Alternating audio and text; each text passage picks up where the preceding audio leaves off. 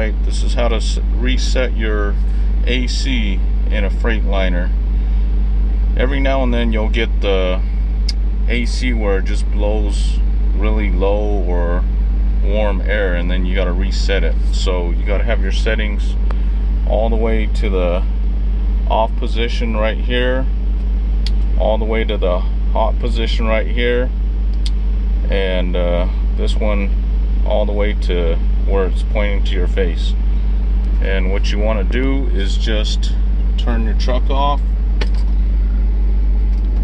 set it to the on position,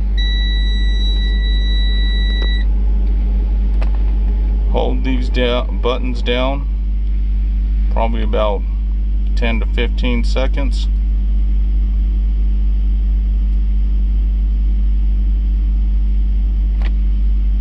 Start flashing like that.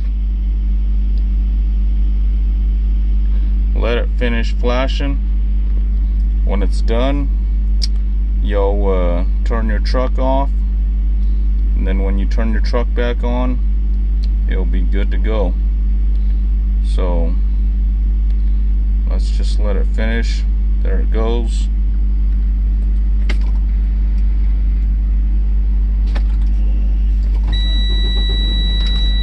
Got my truck turned back on.